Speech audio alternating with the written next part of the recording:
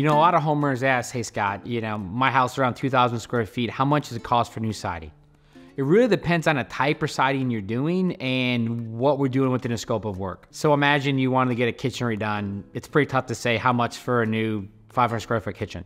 So James Hardie fiber cement siding is far and away the best siding for homeowners in Kansas City. It's what my company, Fairway Exteriors, specializes in. We're an elite preferred James Hardie contractor. I worked there for 16 years.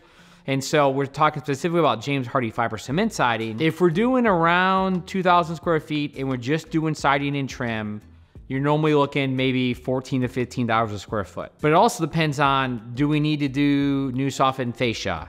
If we do new fascia, do you have to get new gutters? How are we gonna treat trim around the garage door? How are we gonna treat trim around windows with um, storm doors or storm windows. And so, you know, you could spend a small fortune on siding depending on what you want and style and custom colors and custom styles.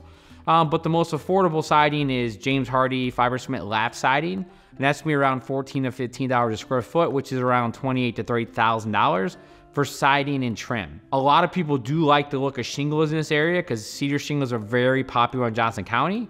Um, that product's close to double. And so it just really depends on what you want, sizes. We sit down to have your homeowner, we get a detailed description of what you want. We build custom design renderings, we walk through options, we itemize everything. So we're happy to show you here's a baseline project, here's a lot of common upgrades, and here's what you want your dream home to look like. You might not be able to afford it, but we're happy to show you what it looks like, what it costs, and itemized detail. The siding material does drive a lot of the costs out there, right? So, you know, some people want to look at wood because they have wood in their house. Wood's very expensive. It's going to do what it's always done. It rots, it warps. It's a it's a magnet for woodpeckers.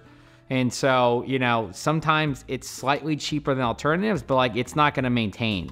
And so one of the important things to think about is not what the siding costs today, but what's the life cycle cost.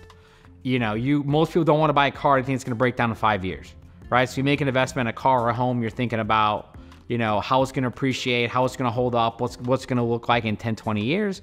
And that's where people get James Hardie fiber cement siding, and it makes a ton of sense to make that investment because James Hardie has a way to make your house look brand new day one.